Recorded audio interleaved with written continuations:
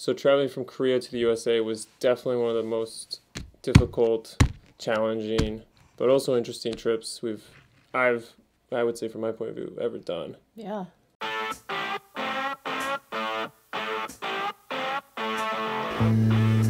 It's 5 a.m. We need to leave the airport about 45 minutes to an hour.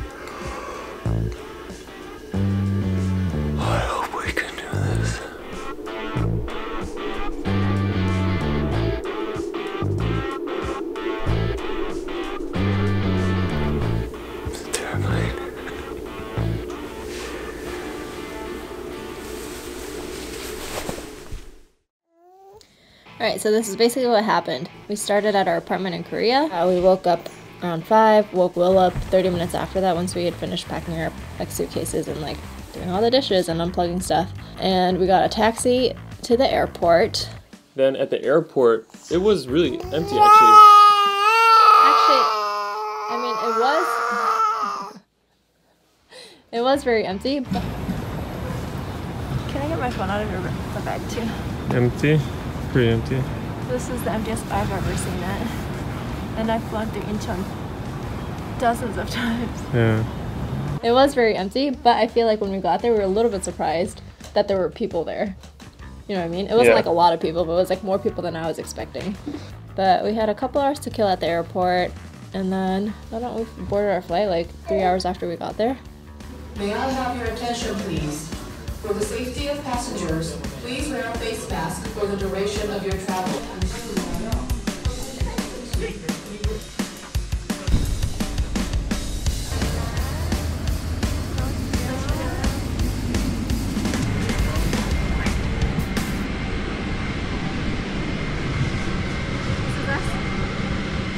I feel like I was more surprised at how empty the plane was in the airport, or I was surprised Yeah. at how empty the plane was based on the airport.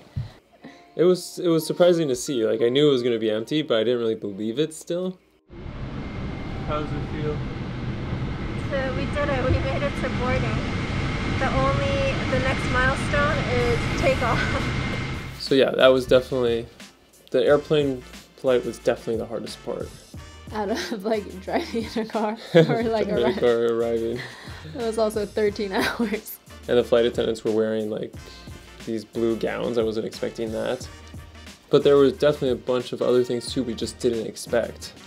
So, for example, as being parents uh, with a kid, I guess generally what people do is they eat meals one one at a time. Each parent gets a meal as the other one watches the kid, and then you switch. I also feel like it's not something you have to do. I feel like it's an option. Uh, we requested bassinet for the flight because we didn't get Will a separate seat, uh, and so we thought it'd be a nice thing for him to sleep in if he did fall asleep at any point. We didn't end up using it as much as we thought for Will. It just became like a carry-all for like stuff. and put so much stuff in the bassinet.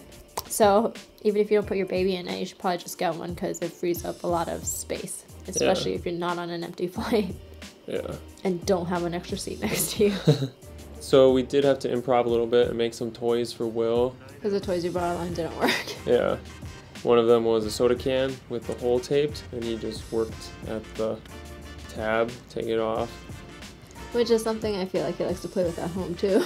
Yeah, definitely diaper changes were really hard. Like, already airplane bathrooms are tiny.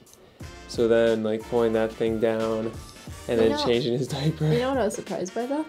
That every single bathroom in the plane had a changing table. Oh, yeah. Like I went to four different bathrooms in the plane and all of them had a changing table. I guess it makes sense too, because if it's a full flight. Yeah, you probably want babies' diapers to be changed. Yeah. Um, and then Will, like, I changed his diaper once for poop, and then I changed it once for pee, and then I changed it once again for poop. In a 13 hour time frame Yeah. He pooped twice. It doesn't never poop twice. It, anymore. yeah. And now he hasn't even pooped in like two days, it feels like. Actually, I don't think he pooped at all today. Uh, Oh, we got through it though in the end. It was tiring. we did it. We did it the first after the first two hours. I was like, really, only two hours. I was like, okay, here we go. Now we're really going in for the long haul. yeah.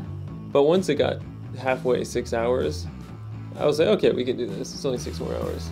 But regarding COVID and flying internationally, honestly, it wasn't bad at all. Like I, I don't think you're gonna catch you're high, like right now at least it's not like a higher likelihood you're gonna catch COVID by flying internationally. You're definitely gonna have a higher likelihood to flying domestically or just taking the subway in Korea. Yeah. I didn't feel unsafe at all. Like they, all the flight attendants were wearing masks. They even had gowns on. All the passengers were wearing masks. Yeah. We were also wearing a mask. Nobody's sitting next to each other because the plane's so empty. Yeah. To be honest, it's just a good time to fly internationally. I think. Yeah. I mean, be responsible. Yeah. just like go fly places and stuff. So anyway, so then, our yeah, we we got through those 12 and a half hours and landed, and we got to America. There's no lines, totally empty. So we got through immigration like that.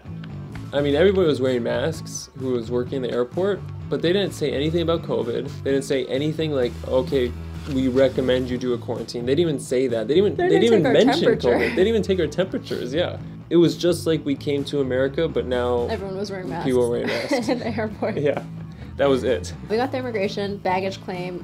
Nobody around. Nobody only around. one bag carousel Yeah. actually going because I guess our flight was the only one that arrived at that time. I feel like the weirdest thing was when we got our bags, went through customs, and then like the doors open and it was like nobody. Yeah, that's right. there were like literally zero people out there. But then we saw my dad. We Yeah. got we met him. We saw Will, Hi, Grandpa. He's like, yeah. and the only last leg of the journey was driving in a ca- car for an hour, Yeah. Was that only an hour? I feel like that car ride actually Hour and a half. really long. Yeah. and then we made it home. Go take it slow. Hello there. How are you? Oh yeah. there you go. He's like, stop it. And not to That's beard. He feels the beard. Yeah, overall it was really, it was worth it. I feel like it was worth it. I'm really glad we came, Yeah. but it was exhausting. Definitely the most tiring, hardest trip I've ever done. Anyways, that's the video. Thanks for watching, and we will let us know if you have any questions and you're traveling with a baby.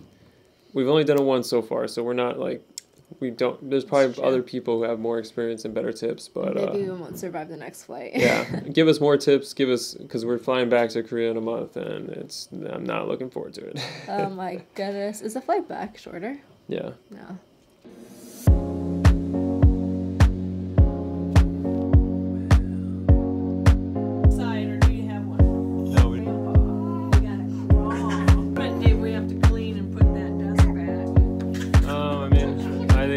Think I can sleep either way. But I know that we can put those legs up so he's not. I didn't know Nacho's nose came up that high.